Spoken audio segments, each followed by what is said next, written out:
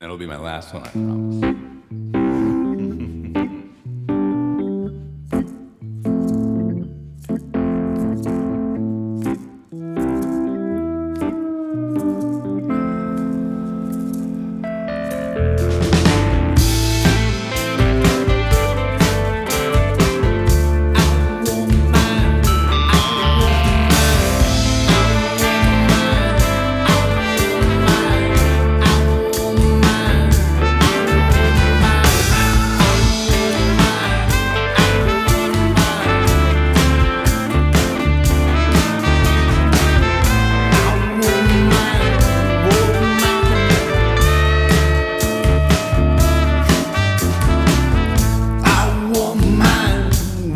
Miles tonight.